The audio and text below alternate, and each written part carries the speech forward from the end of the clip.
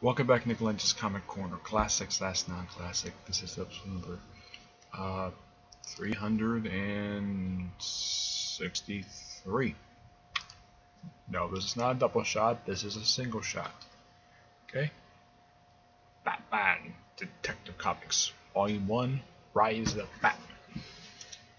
Collecting issues, and it actually says on here 934 to 940.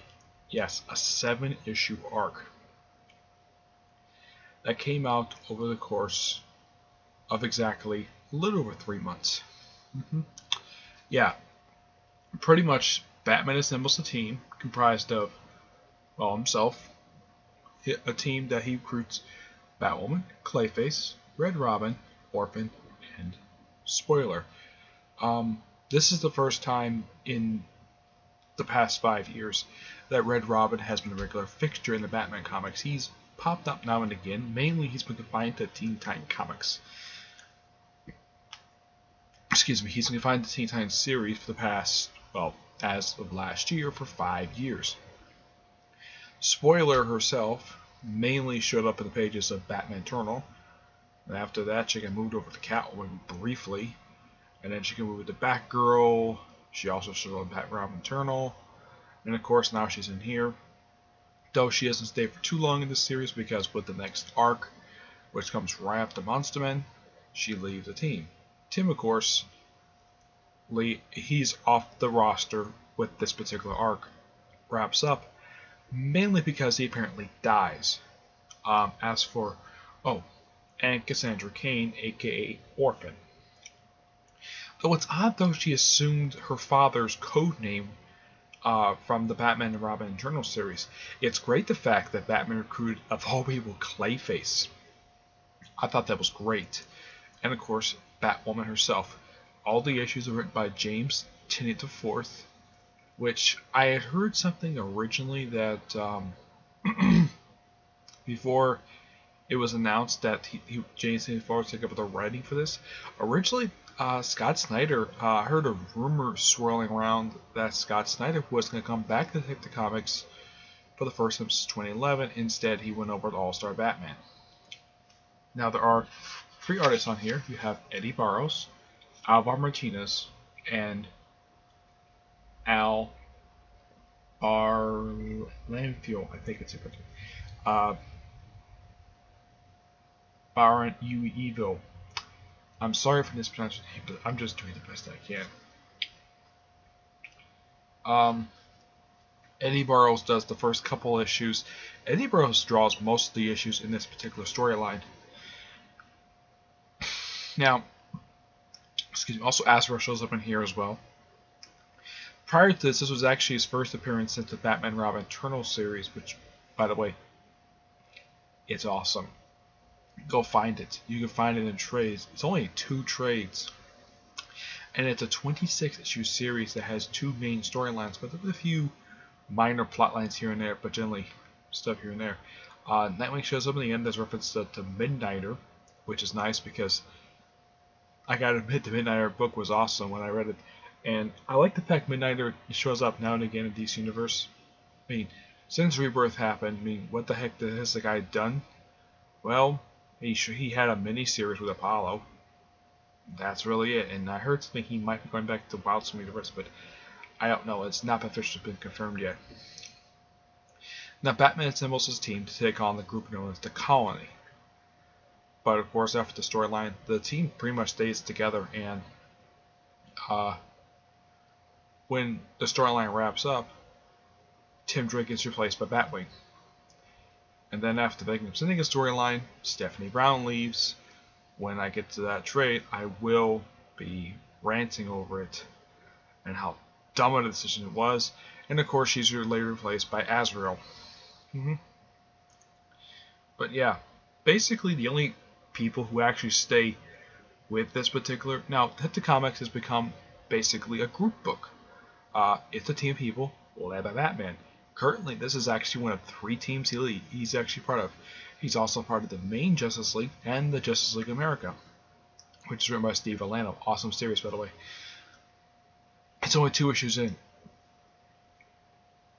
Now, one of the supporting villains in the storyline is Ulysses Armstrong. I am familiar with him due to the fact that he was the first, uh, I think he was the second Red Robin in the pre-Flashpoint continuity, and he also was the second person to assume the identity of Anarchy. Yep, Anarchy. Who in this continuity was a corrupt politician. Actually, there's been two of them. The other one showed up for one issue of Green Lantern Corps Volume 3.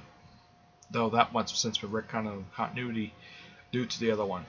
Now, um, the the one who's regularly Anarchy, he showed up few times, but he was never Anarchy in the first place. Yep. But despite that, this is a really fun storyline. Uh, James Tynion does a great job with this. You know, if James Tynion was not chosen to be the writer of this, you know who also would have been a great choice to write these issues? Steve Orlando, or maybe even Tim Seeley, or even Tom King. But T- but Tynion was fine. I got no problem with him because the guy was was basically. I've heard some people put it that James the Fourth was basically Scott Snyder's apprentice on the Batman title because he co-wrote a lot of the issues of the 52 issues that came out for the previous Batman. Uh, wrote about a co-wrote with him about 10, 10 about 10 to 15 of them. Um, and of course, Tynion, they, his, he's had a couple series where he's actually you know, been the sole writer of. Uh, he was the writer for Talon, awesome book, despite the fact the book got canceled after issue 17. And of course, he was also the writer of the series uh, Constantine Hellblazer, a series that was recently canceled last year after only publishing 13 issues. But he's mainly stuck to the Batman books. Basically, up until Rebirth, he was actually one of two uh, Batman writers who basically Scott Snyder was so focused firmly on Batman.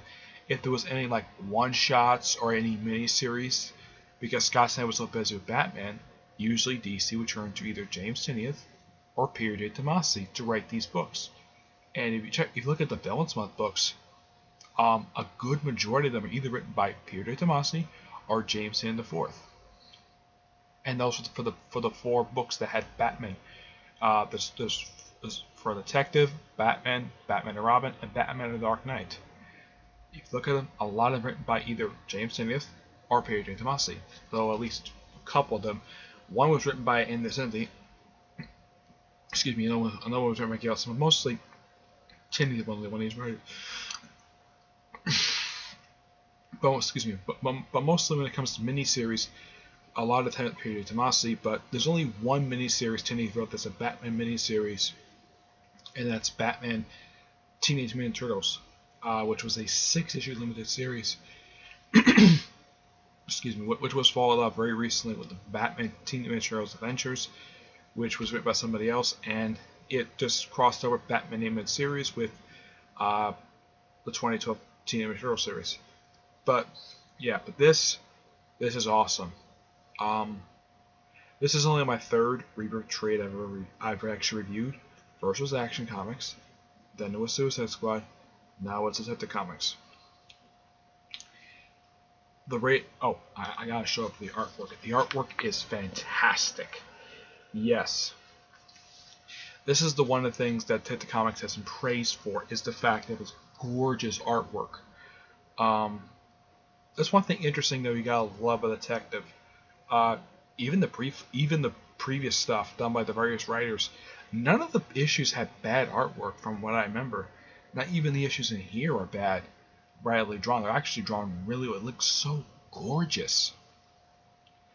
And one thing I can also praise this for is great pacing. It builds, even though this is a seven-part story, it builds. It's kind of like two different arcs that are loosely uh, it's like these seven issues, like the first half are just loosely set up, and then the second half is basically the epic stuff. So, so you have Tynion started with the stuff, then of course you have Monster Man, then you have um, the Victim Syndicate, which is basically a follow-up to and Monster Man, and of course Batwoman Begins, the 950, and now of course the League of shows up, which is the follow-up to this particular arc.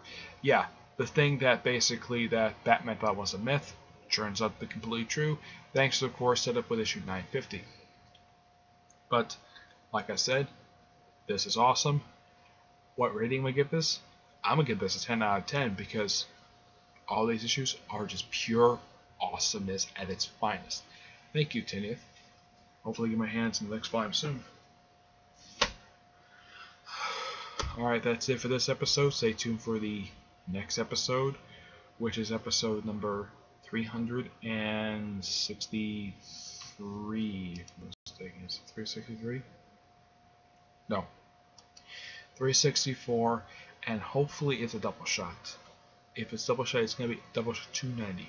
Okay? Excuse me. But until then, excuse me. I will see you there. Bye.